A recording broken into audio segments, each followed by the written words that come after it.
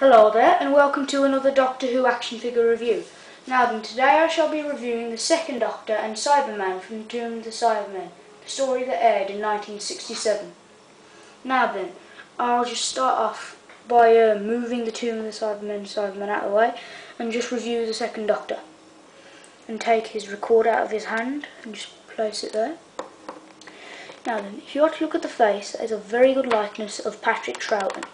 He has the wrinkles on his cheeks and also has that weird look that he always had. The eyebrows are also very nicely done, just like how he would um, have them as well. The hair is very nice as well. Looks like that weird non-combed hair we used to have. For articulation, he has articulation in the head, the arms, the elbows, the biceps, the wrists, which is very stiff, the waist, the legs, and the knees. And there you go. That is basically his articulation, generic Doctor Who articulation. Now then, he has nice detailing on the coat, as you can see there. Here's a big pocket. He has buttons up here and the slits where the buttons are meant to go in. His handkerchief is here, which is quite disappointing. I think it would look nice if it had some um, excuse me, white polka dots on it there. That'd be quite nice, but it doesn't have that, sadly. If you look here, it has two buttons along each sleeve, two buttons there. And this coat actually resembles William Hartnell's coat quite a lot, but is different. Just like the lapel, as you can see here, is different. It has the cut there, isn't just a straight lapel. His shirt is nice, as you can see there. It's a light blue with buttons going down it and his bow tie a diagonal slant like you would have it with white little polka dots on it. His trousers aren't the best as you can see here. There are some bits where you know they've just completely missed out on paint. For example there and uh, there. So that is kind of hard to do so you know that's fine for me. Shoes very nicely detailed as you can see there. Nice and dirty like he'd have them all grubby and everything with his hobo look. Um, here is his recorder, you can see there, going down to that pattern, light blue and dark blue. Here are his green tassels on the end of the recorder, and he holds this very tightly, he, doesn't let go of it. It stands quite well, just depending on how you have his feet positioned, so yeah, he stands oh, he fell. I nearly did it. There you go. Now he's standing quite well. And now I shall review the Cyberman.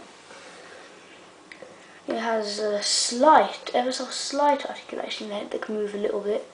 Articulation in the arms, the biceps, the elbows, the wrists, the waist, the legs, knees, and the boots. Now then, he has a nice head sculpt as you can see there. Very nice. With his mouth, his eyes, everything. If you look at the back here, you can see where the um, you could if you look here you could see where his um, the human brain would be fitted. So that's very nice there as you can see. Nice pattern along the top there. Just like in the show he has pipes coming out of here there everywhere leading to this main thing here. I suppose it's his generator or something his life support.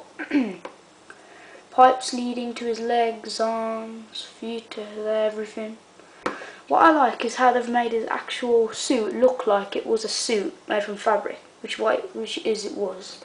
So it's quite good they did that. Look here, he has his weird Teenage Mutant Ninja Turtle hands, four fingers. No, three, sorry. Anyway, um,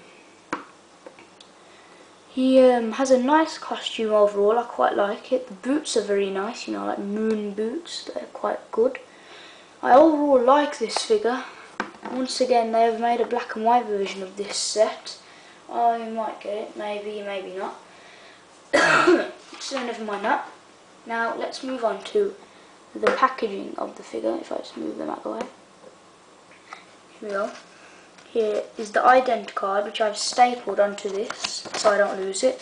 It says 1967, the second Doctor 1966 to 69, 1967 for the Cybermen from King of the Cybermen, posable action figures, basic Doctor's logo, if you look here, all eight Doctors, well, the classic Doctors with their dates, how long they lasted, second Doctor, Cyberman, day, no, pulse action figures, date and date. now, if I were to read it, it says, often bejeweling his enemies by hiding his fierce intelligence and morality under a cloak of shambling irreverence, the second Doctor always looked for the best in people and the aliens he met, seeking a peaceful solution to every situation. After encountering the warlike aliens who were kidnapping people across time and space, he was forced to call upon his fellow Time Lords for help. Unable to escape them, he was placed under trial for breaking their laws and was exiled to Earth and forced to undergo a second regeneration. That was the second Doctor's. Now if I review the Cyberman, I just want to say it's a very nice picture of him breaking out of the tomb in colour as well. That's also a very nice picture of Pat playing his, what you call it, flute. And one more thing I'd like to point out, if you can notice there, he has a nice little ring there. If you look here, he has no ring that's kind of a letdown, you know, the picture's right there and yet they haven't included it. Anyway, this is the Cyberman's read-up. It says, Millennia ago, the planet Mondas, the twin of Earth, drifted out of the solar system and deep in space. In order to, in order to survive, the Mondasians had centuries ahead of Earth's technology replaced most of their bodies parts with cybernetic parts. Then they then continued this progress to their minds and removed all emotion from their brains to eradicate all weaknesses. The Mondasians were gone, and in their place were the first Cybermen. They became a race of galactic conquerors who took other organic beings and changed them into Cybermen. Constantly improving their technology, they conquered many worlds using some of them, such as the planet Telos, to store huge armies in suspended animation.